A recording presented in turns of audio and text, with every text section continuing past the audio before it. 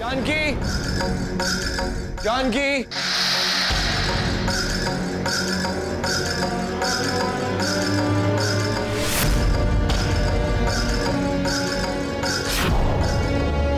क्या हुआ बेटा? बहुत परेशान लग रहे हो तुम। मैं कुछ नहीं बस जानकी को ढूंढ रहा था। आपने देखा उसे? जानकी घर पर नहीं है? तुम्हें बताकर नहीं गई बेटा? बेटा सास को ना बताए समझ में आता है। मैंने उसकी गलतियाँ लाकर तुम्हारे सामने जो खड़ी कर दी। तो दुश्मन हो गई मैं उसकी। पर तुम तो उसके पति हो बेटा। तुम्हें तो बताकर जाना चाहिए था उसे। अब देखो बेटा, कितनी रात हो चुकी है। ये कोई वक्त है अच्छे घर के बहू बेटियों को घर से बाहर रहने का? बहुत गलत बात है ये।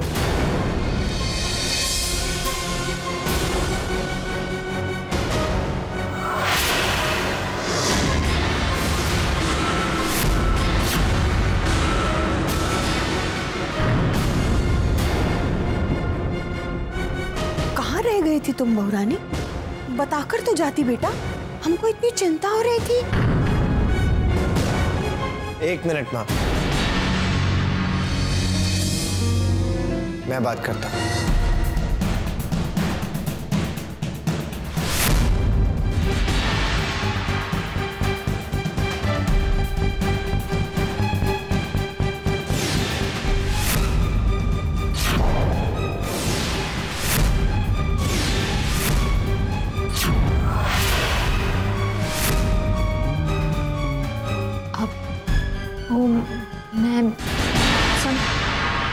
समीर।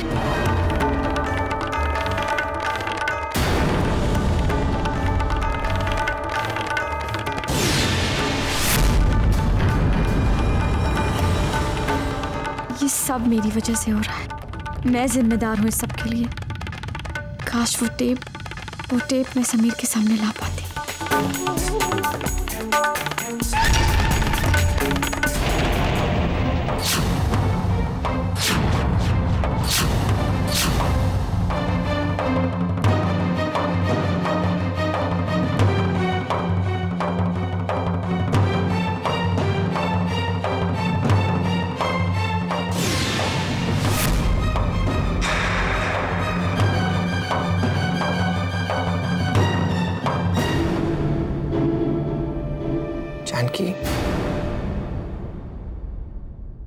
तरफ़ देखो।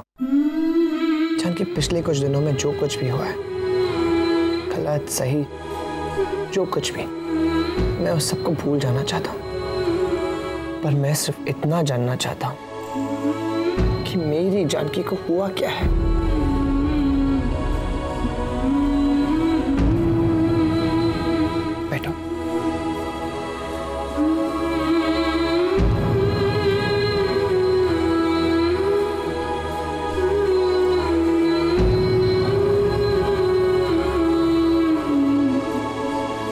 तुम्हें नहीं लगता कि तुम कुछ अजीब सा बिहेव कर रही हो? कुछ परायों सा? अब आज ही की बात ले लो। अगर तुम्हें कहीं जाना था, तुम मुझसे कह सकती थी ना, क्योंकि मेरी जानकी कभी मुझसे कहे बिना कहीं नहीं जाती। तुम अपने समीर से कुछ छुपा रही हो जानकी जानती हो कितना कुछ सुनना पड़ रहा है तुम्हारे खिलाफ, और फिर भी तुम चुप हो। जानकी और किसी से नहीं। कम से कम मुझे तो बताओ कि तुम्हारी प्रॉब्लम क्या है। चाची ने पैसों को लेकर तुम पे इल्ज़ाम लगाया तुम फिर भी चुप रही। पार्टी के बारे में भी तुमने कोई सफ़ाई नहीं दी। जानकी ऐसे काम नहीं चलेगा तुम्हें कुछ बोलना पड़ेगा। समीर वो उपाय है। ज़रूर है। लेकिन ये उपाय बहुत कठिन है। अपने पति की रक्षा करने के लिए मैं कुछ भी करूँगी बाबा। तो सुनो तेरी वजह से तेरे पति के सर पर घात है। ये किसी को मालूम नहीं पड़ना चाहिए।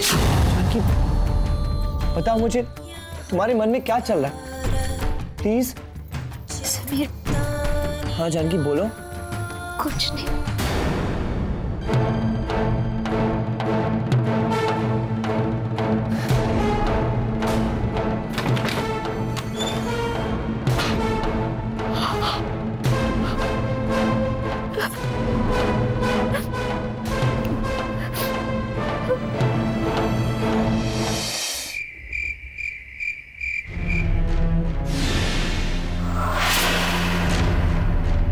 जानकी कितना यकीन था मुझे अपने रिश्ते पर। तुम पर। सच कहूँ तो अपने आप से ज़्यादा। अपने आप से बहुत ज़्यादा। लेकिन कुछ समझ में नहीं आ रहा है कि तुम्हें हो क्या गया है। क्यों इतनी दूर कर दिया अपने आप को मुझसे? मैं अच्छी तरह से जानता हूँ कि तुम आज भी मुझसे उतना ही प्यार करती हो। लेकिन तुम ही बताओ, तुम्हारी इस खामोशी का क्या मतलब निकालू मैं? मजबूरी, बेबसी, समीर। बहुत प्यार करती हूँ मैं तुमसे। बहुत। किसी भी सूरत में मैं तुम्हें खोना नहीं चाहती, समीर। आई एम सॉरी काश तुम मेरी खामोशी को समझ सकते। काश तुम ये समझ सकते कि मेरी खामोशी तुम्हारे लिए है। तुम्हारी ज़िंदगी के लिए है। और एक औरत के लिए उसके सुहाग से बढ़कर कुछ नहीं होता। बिना तुम्हारे साथ के मैं ये लड़ाई अकेली नहीं लड़ पाऊँगी। मुझे तुम्हारी, तुम्हारे साथ की, तुम्हारे प्यार की, विश्वास की बहुत ज़रूरत है, समीर। Please please, Sameer.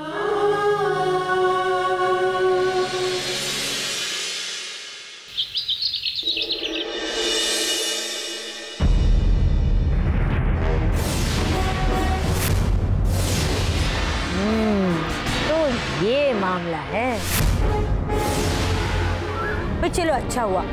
तुमने मुझे तुम्हारे और बिंदिया के रिश्ते के बारे में सब कुछ बता अब मुझे बिंदिया से कुछ भी पूछने की ज़रूरत नहीं है। कहा हाँ हाँ भाई मैं सब समझती हूँ। क्या कह रहे हो? वो अक्सर तुम्हें फ़ोन करती है। और मिलने के लिए भी कहती है। झूठ बोल रहा है काकी।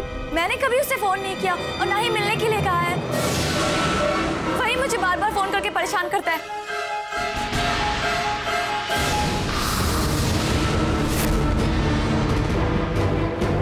दूसरी लाइन पर तो कोई भी नहीं है। इसका मतलब कोकी काकी फ़ोन पर बातें करने का नाटक कर रही थी।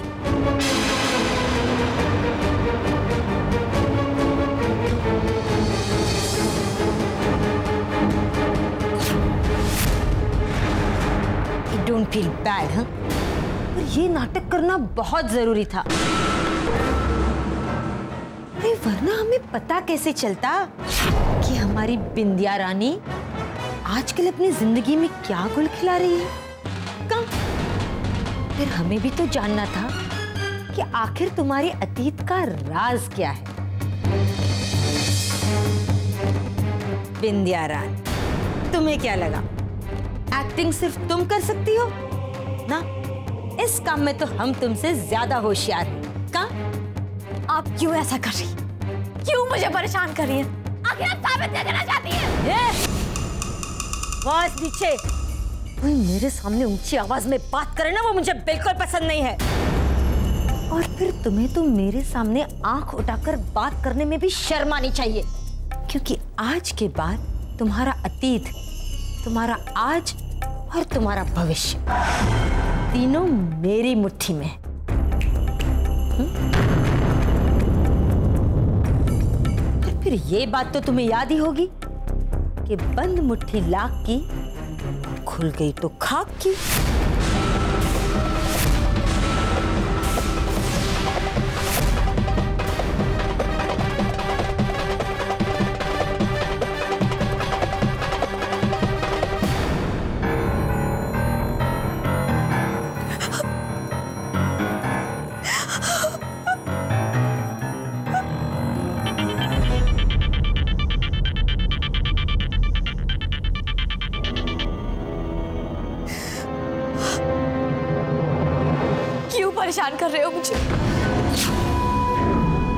तो बस। आखिर मैंने तुम्हारा बिगाड़ा क्या है? फ़िलहाल तो मैं सिर्फ़ तुम्हारे साथ प्यार की दो बातें करना चाहता हूँ। नहीं ऐसा नहीं हो सकता। और चले जाओ चले जाओ यहाँ से।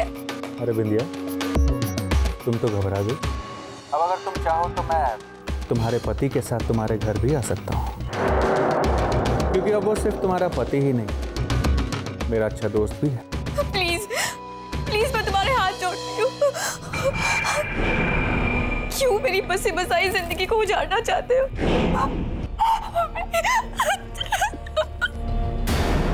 प्लीज़ तुम चले जाओ प्लीज़ तुम तुम रो मत।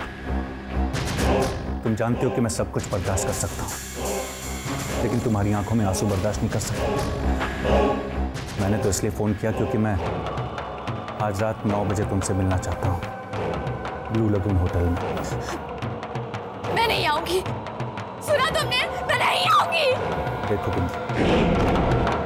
तुम मुझे मना नहीं कर सकते। तुम्हें आना ही होगा।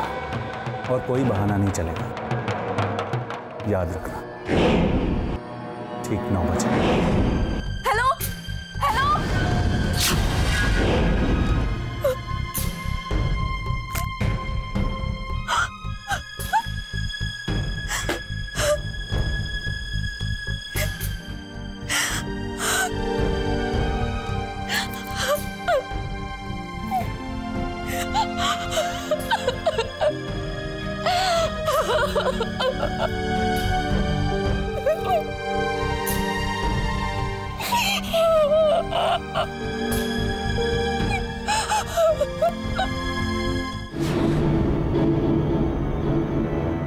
भावना काकी। अरे पायल बेटा आओ आओ।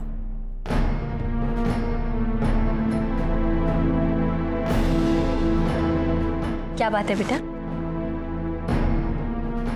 काकी क्या आप भी वही देख रही हैं जो मैं देख रही हूँ? तुम किस बारे में बात कर रही हो बेटा? यही कि इस घर में जो कुछ भी हो रहा है उससे समीर और जानकी के रिश्ते में दरार पड़ रही है। हाँ ये तो मैं भी देख रही हूँ। और काकी कहीं ना कहीं इसके लिए आप भी जिम्मेदार हैं। मैं मैंने क्या किया है बेटा? मुझे तो उन लोगों के लिए वैसे ही बहुत दुख हो रहा है।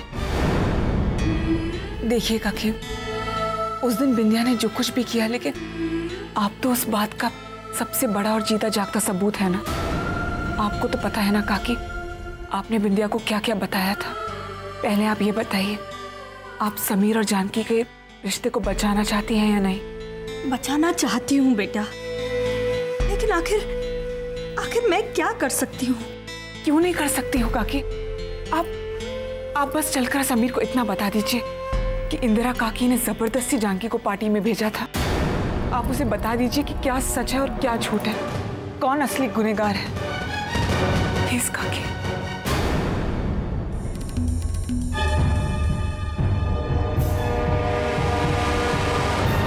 थैंक गॉड काकी मान गई। अब सब कुछ ठीक हो जाएगा।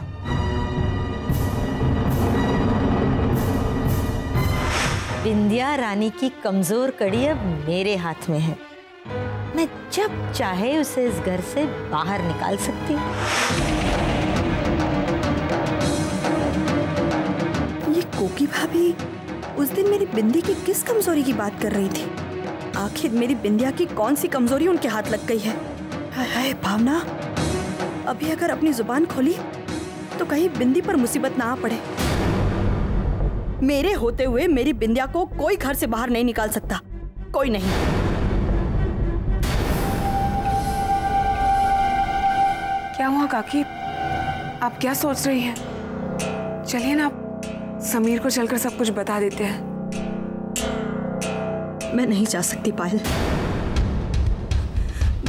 मैं कुछ नहीं जानती कुछ नहीं। ऐसा मत कहिए काकी मैं बहुत उम्मीद लेकर आपके पास आई हूँ। आप तो सब कुछ जानती हैं तो तो फिर आप चुप क्यों हैं? काकी प्लीज़ आप आप कुछ तो बोलिए।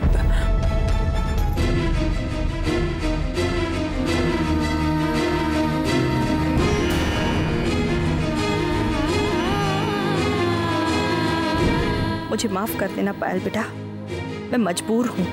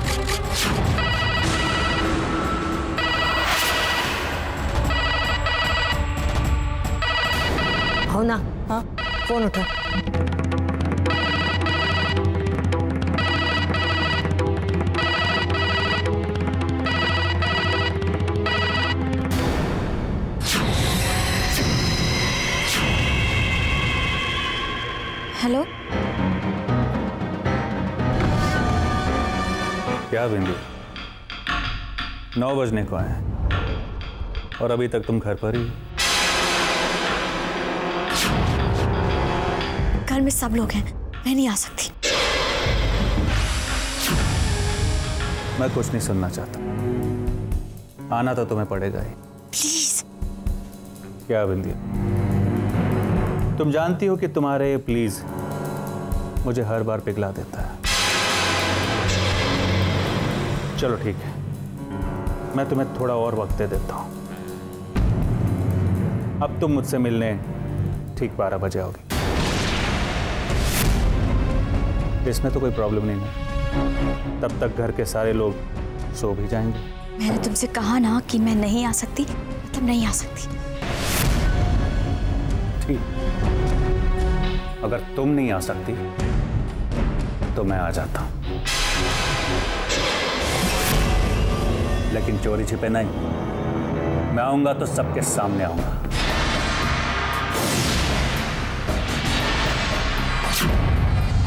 क्योंकि जितना तुम मुझे मना कर रही हो तुमसे मिलने की तड़प उतनी बढ़ती जा रही है।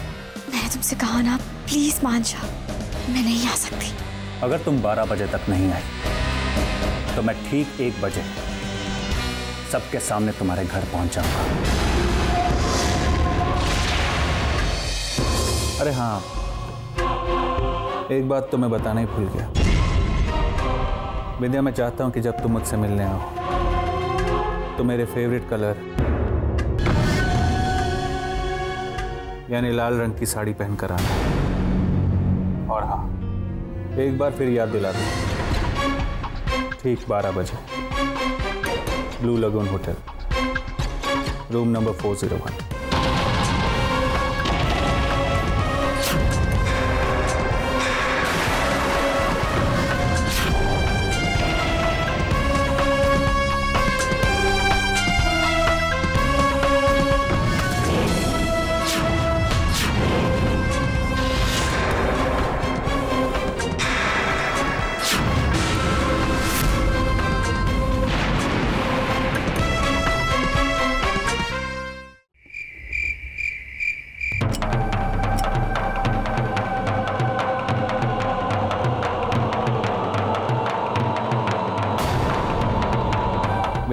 चाहता हूँ कि जब तुम मुझसे मिलने आओ तो मेरे फेवरेट कलर यानी लाल रंग की साड़ी पहनकर आना।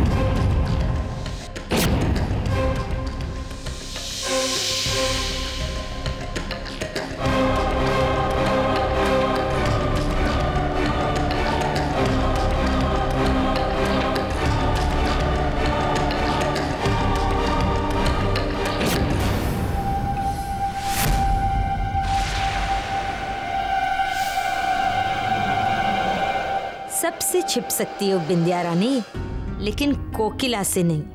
अरे, उस दिन तो तुम्हारे राज में थोड़ा बहुत मसाला मिलाकर मैंने तुम्हें अपने जाल में फंसा लिया था। पर आज का ये सुनहरा मौका मैं कैसे गवा सकती हूँ? का आज तो तुम्हारा पूरा राज कोकिला के सामने होगा। आई डोंट फील बैड हाँ